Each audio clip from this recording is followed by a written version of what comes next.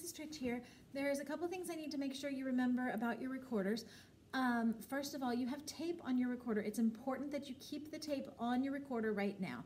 In a little bit, you'll be able to level up and pull the tape off and one hole at a time will uncover.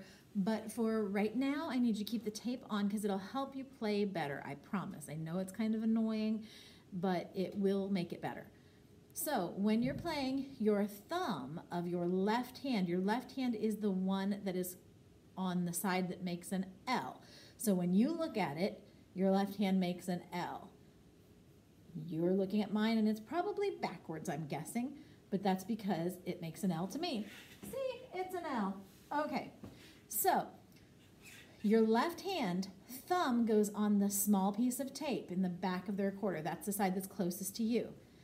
And then your pointer finger, middle finger, and ring finger go on the long piece of tape on the front of the recorder. I don't have tape on mine, sorry. Your right hand fingers, your two fingers, they move together right now. So these two fingers go over the next two holes closest to the tape. There are no empty holes between my ring finger of my left hand and my pointer finger of my right hand. And these two fingers are going to move together. So you're going to play G that sounds like this and E that sounds like this. And the more holes we cover up, the softer you have to blow. If you're getting a squeaky sound like this, that means you're blowing too hard or you're holding your recorder too straight out from your mouth. It's not a trumpet, it doesn't go like this. It goes down like this. When I tell you to hold your recorder down, make sure you're not moving your whole head down because the problem is the way it comes out of your mouth. The air comes out of your mouth into the recorder. You want it to go this way. All right, so it goes down at this angle. So, G and E. When you're playing those two notes, you need to make sure that when you're putting your fingers over the holes, you're not bending your knuckles. All right, use the flat fingerprint part of your finger that will allow your fingers to cover the holes better. Um, this part of your finger is really squishy right there, so it can squish over and cover the entire hole. It's less likely to come off. When, if you used your end of your finger like you're poking an elevator button, that part of your finger isn't very squishy and you have to get it exactly in the right spot to get it to cover. So you want to use the fingerprint parts of your fingers, the part you would hit if you were given a high five, all right? And those parts go over. So your fingers are kind of straight on your recorder. If you're a piano player, I know your piano teachers always tell you to play with curved fingers, but on recorder you play with mostly straight fingers, all right? So the E and the G. And it hardly takes any air. If you play lots of notes in a row, Make sure the air keeps coming out of your mouth, but you just touch the roof, your touch your tongue to the roof of your mouth. So it makes a little sound like this.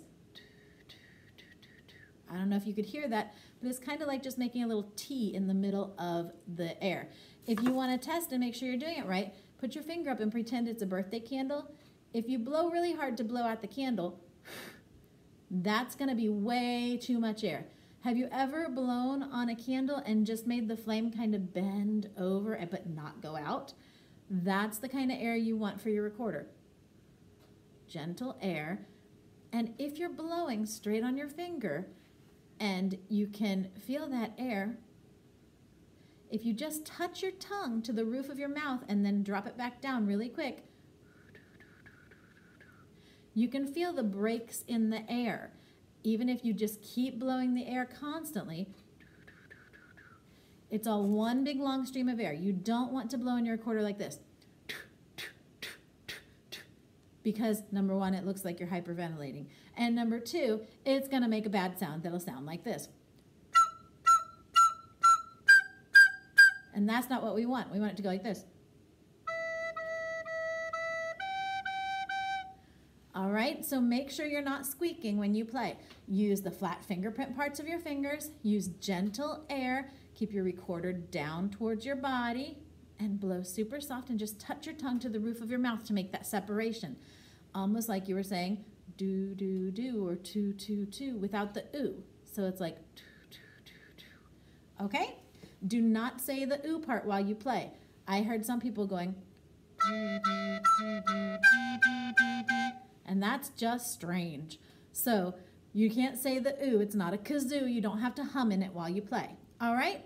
Good work. Keep up your practice, and next week we will learn a song using G and E, okay? Keep practicing. Have a great day. Bye.